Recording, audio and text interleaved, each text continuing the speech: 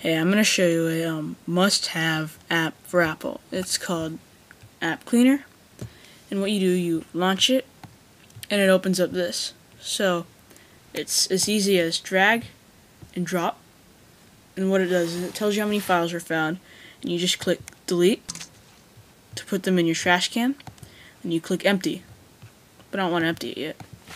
So you close App Cleaner, and I'm going to show you how to get it.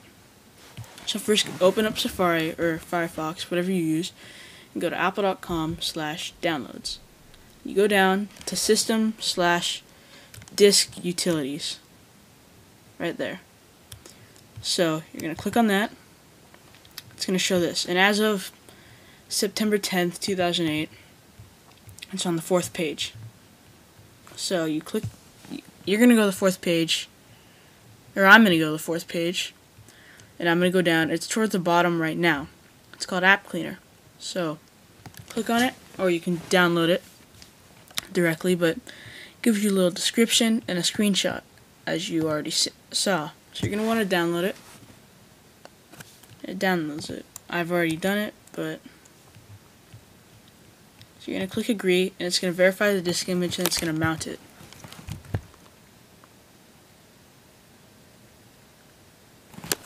So once you download it, this should show up. What you want to do is you just drag App Cleaner to your applications folder. But I don't want to do that because I already have it.